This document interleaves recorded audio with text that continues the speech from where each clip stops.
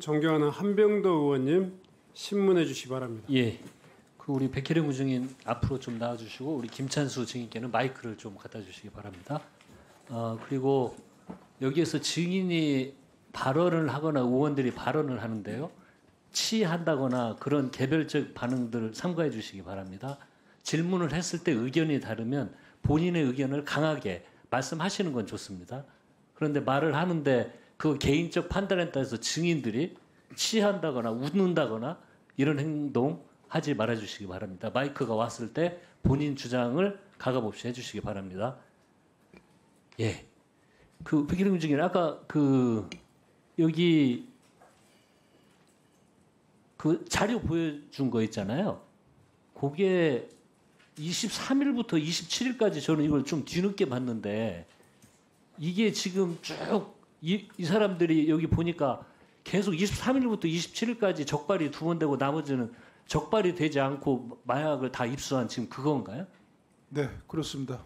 적발되지 않고 마약을 몸에 신체에 부착해서 국내에 유통시키는 접수 안그 적발이 되지 않은 네. 이런 거예요.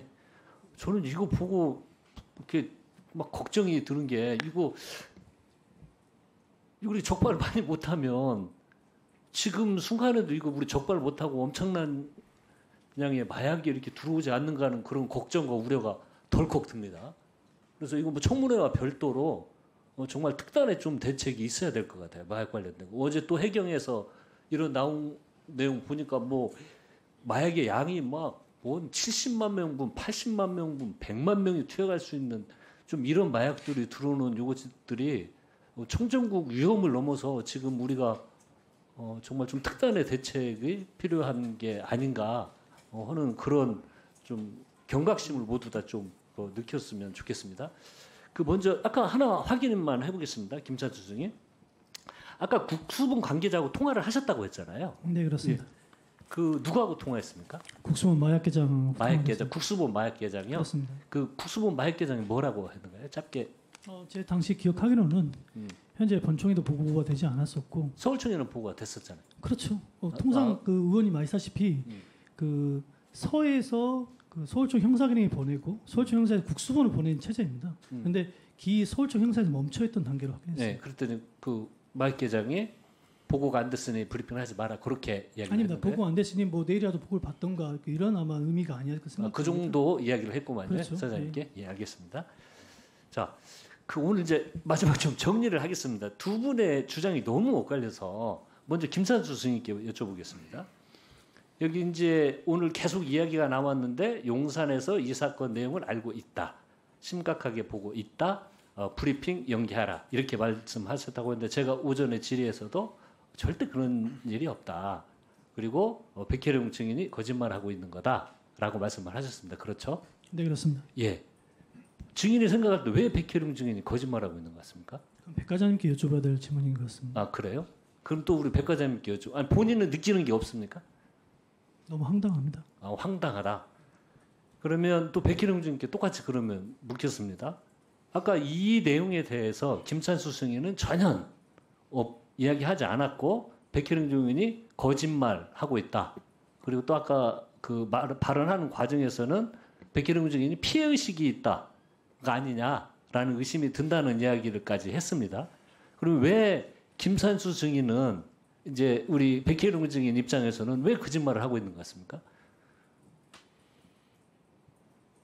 좀 말씀드리기 좀 송구합니다만 본인의 영달을 위해서 동료를 배신한 거라고 생각합니다.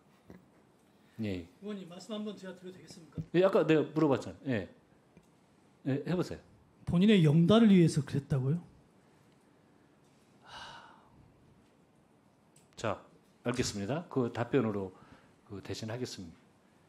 이, 그, 하나만 더 우리 백혜령 주님께 여쭤보겠습니다.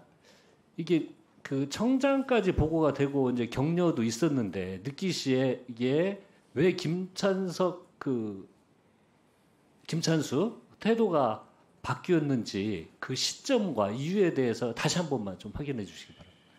태도가 바뀐 것을 제가 피부로 느낀 것은 9월 18일 김광호 서울청장이 방문하고 그 나서부터 저에게 사건을 묻지를 않았어요. 브리핑 같이 하기로 여러 가지 의논을 하고 그 다음에 브리핑이 끝나고 나서 인천세관을 방문해서 현장 검증하고 그다음에 직원 명부 압수해가지고 가져오겠다 이런 내용까지 다 협의가 됐는데 김강호 청장 방문한 이후에 전혀 연락이 없고 소통이 안 되니까 아 이게 무슨 문제가 있구나 이렇게 생각을 한 겁니다. 네, 수고하셨습니다.